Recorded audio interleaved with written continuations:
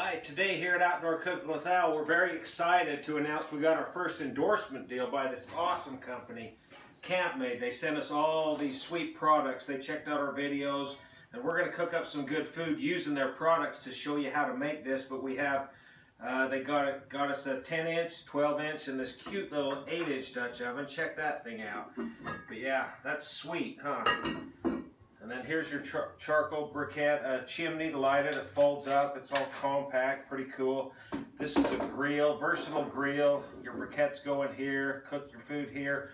Flip the other way, it's a lid lifter. You lift your lid off. You can set it on the ground. It doesn't get on the ground. It's sweet. They sent us these cool bags.